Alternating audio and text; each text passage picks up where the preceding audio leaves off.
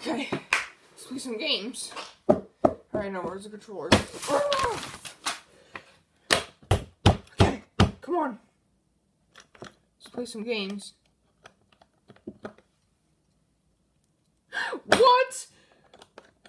There's no Fortnite on there? Well, you're gonna pay for this!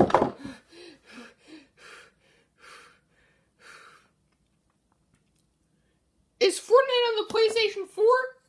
Well, you know what this means. Ah!